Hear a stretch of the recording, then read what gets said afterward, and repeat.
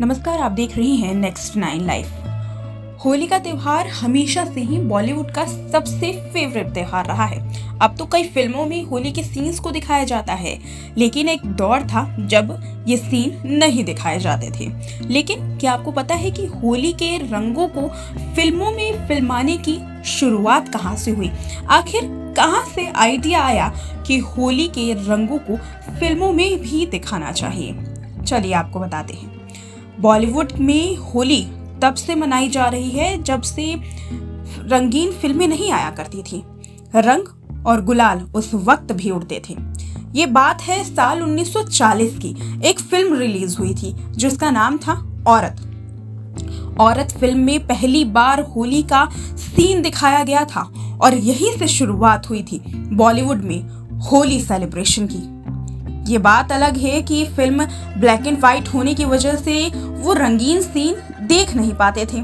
मशहूर फ़िल्म निर्देशक महबूब खान ने इस फ़िल्म को कुछ समय बाद, यानी कि 1957 में रीमेक किया और उसके बाद फ़िल्म मदर इंडिया के नाम पर एक बार फिर से होली के सीन दिखाए गए। मदर इंडिया में होली का सीन दिखाया गया। लोग ने इस सीन को काफ़ी पसंद किया और ये फ़िल्म सुपर डुपर हिट रही।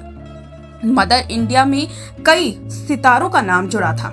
इसमें नरगिस, राजकुमार, राजेंद्र कुमार, सुनील दत्त जैसे उम्दा कलाकार थे।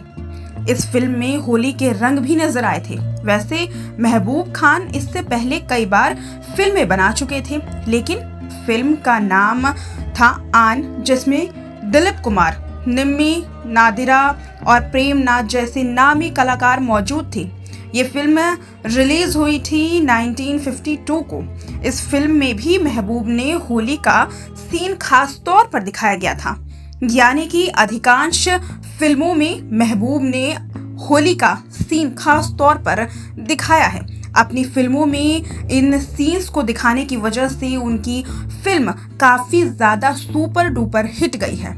उस वक्त में जब बॉलीवुड में होली का सीन होली का सेलिब्रेशन उसका उत्सव नहीं दिखाया जाता था, तब महबूब खान वो निर्देशक थे, जिन्होंने इस सीन को दिखाना शुरू किया और तब से शुरू हुआ सिलसिला होली सेलिब्रेशन का। अब तो कई फ़िल्मों में होली के सेलिब्रेशंस को दिखाया जाता है, मगर इसकी शुरुआत महबूब खान ने की थी और आज तक उन्हें ही बॉलीवुड में होली के सेलिब्रेशन की शुरुआत करने की क्रेडिट दी जाती है।